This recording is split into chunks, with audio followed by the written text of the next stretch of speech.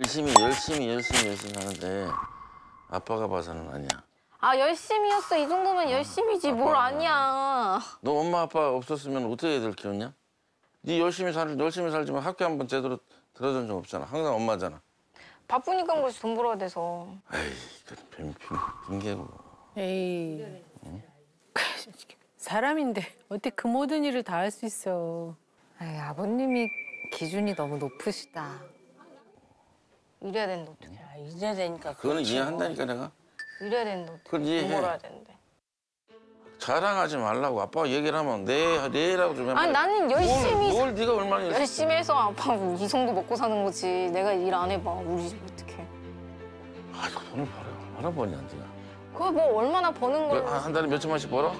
몇 천만 원씩 벌고 싶다 아빠 나도. 한 천만 원씩 벌어? 천만 원씩 벌고 싶다. 아이고 저렇게 말씀하시면. 아, 오히려 또 자격지심이 더 세게 얘기하시는 것 같아. 그냥 자격지심 있지. 네, 네가 돈 좀 번다고. 유세 떠냐? 유세떠냐? 뭐 이렇게.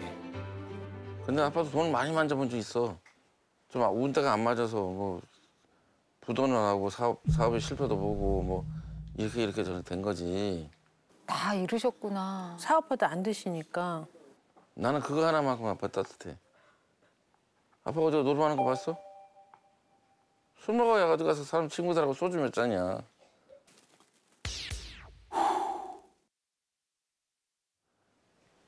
그렇게 자랑하지 말고. 아, 아버님 화법이 조금 아빠랑 저랑 성격이 서로의 입장만 너무 주장하다 보니 계속 얘기를 하다 보면은 싸움밖에 안 나는 거예요. 그러다 보니까 그냥 서서히 그냥 제가 입을 닫게 된 것 같아요. 가족들한테서는. 본인도 본인 인생이 답답한 거야, 수빈 씨도. 언제까지 이 짓을 해야 되나 싶으니까. 이 앞이 보여야 되는데 잘 안 보이니까. 거기 또 큰 비밀을 또 안고 있잖아. 이러니 더 못하지. 답답하니까. 아, 이거 어떻게 얘기해? 수민 씨가 이렇게, 이게 포커페이스가 이게 또 되시잖아요. 이렇게 약간 감정을 좀 드러내지 않으시는 것 같더라고요. 네네. 예. 처음에는 저도 많이 드러내긴 했는데 뭐 울어도 보고 화도 내보고 해봤는데 네 그게 너무 가면 갈수록 계속 지치 계속 되다 보니까 해봐 소용 없다는 거 아니까 맞아요, 맞아요. 되잖아요. 지쳐서 그냥 무뎌진 것 같아요 제 감정이 근데 그 무딘 것 같지만 나중엔 그게 쌓여가지고 몸이 많이 아파지더라고. 맞아요. 어.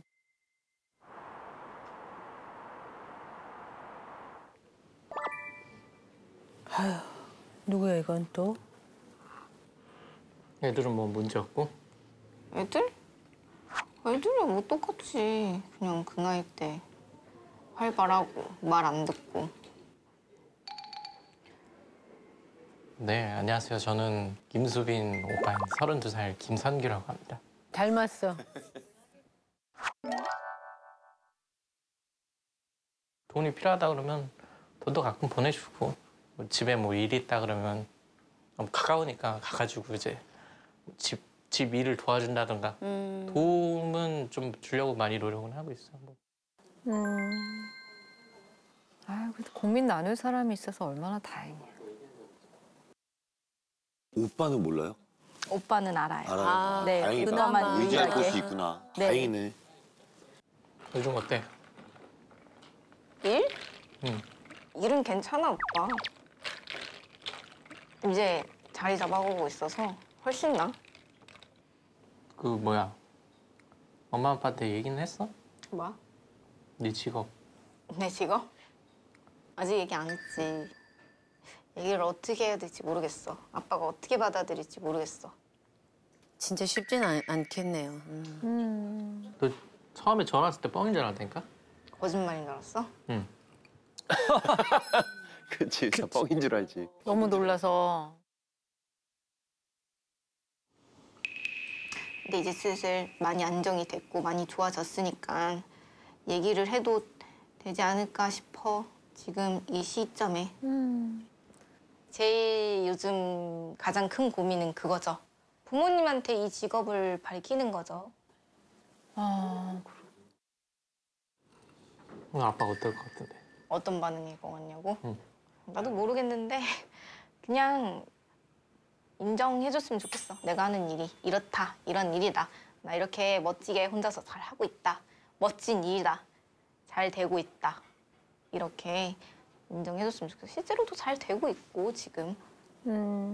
사람이라는 게 계속 떠났다 보면은 속으로는 곰잖아요. 그게 좀 많이 곰지 않을까? 걱정이 좀 크죠. 걔는 그네 예전 네 예전 남편 있잖아. 예전 예전 남편 왜? 보러 오긴 해? 봐야 뭐 보러 와야 뭐 얼굴을 기억하지. 마지막으로 본 게 언젠데 한참 오래전이지. 아예 안 오나 보다. 최근에 아는 건 결혼해서 사는 걸로 아는데 그 이후로는 연락이 안 돼. 대박이다 그 사람. 또 애들 크면 또 물어볼 거 아니야. 물어보겠지. 근데 자기 죽었다고 하래. 찾으면. 어머 진짜로? 저런 아빠가 어디 있어? 애를 둘을 낳아놓고 자기를 죽었다고 하래요?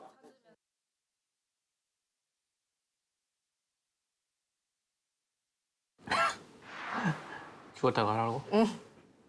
백주 찾으면 죽었다고 하래. 여전히 막장이네. 막장이야. 남자친구가 좀 예전부터 좀 안 좋긴 했거든요. 어, 동생이 이제 첫째를 낳고 이제 둘째를 임신했을 때가 있었거든요. 그 남친이 그 둘이 있을 때만 성격이 좀 틀려지나 봐요. 그래가지고 들어보니까 자주 이렇게 때렸나 봐요. 그래가지고 뭐? 아, 때리기도 진짜로? 했어? 미쳤구나. 와, 이건 진짜로. 제일 마지막에 연락했던 게 양육비 문제였는데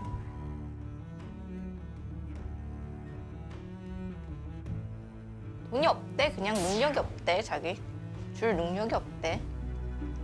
그냥 지금처럼 알아서 애들 혼자 잘 키우래. 어머 연락 좀 하지만 돈 달라고 그걸 또 징징대지. 붙여요. 나돈 없어. 차 바꿨대.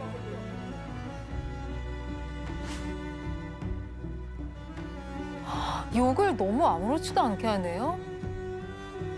뭐야 저 사람?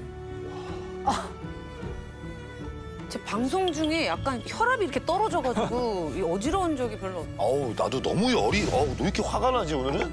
잘 걸렸다. 미치겠다 정말. 잘 걸렸어. 정말 미치겠다.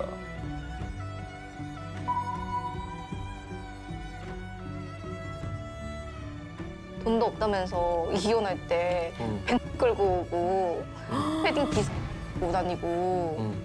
나보고 옷가락선이야 그게 뭐냐고 왜 거적대기 같은 거 입고 다니냐고 막 그러고 아우